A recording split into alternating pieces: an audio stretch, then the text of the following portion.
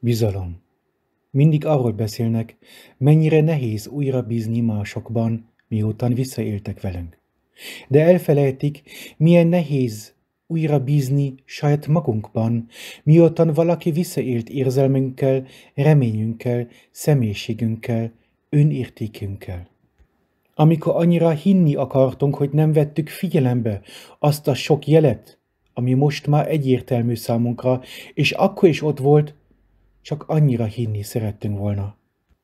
Most tehát elsőként nem másokban kell újra megtanulni hinni, hanem saját ösztöneinkben, saját érzéseinkben, saját felméréseinkben, amelyek végigjeleztek nekünk, csak mi magunk nem akartuk azokat figyelembe venni. Ha újra bízni tudunk magunkban, akkor bízhatunk abban, hogy fel fogjuk ismerni, ha valaki másban nem szabad bízni. Akkor nem kell ellenőrizni a külvilágot, mivel tudjuk, ki az esetleges ragadozó.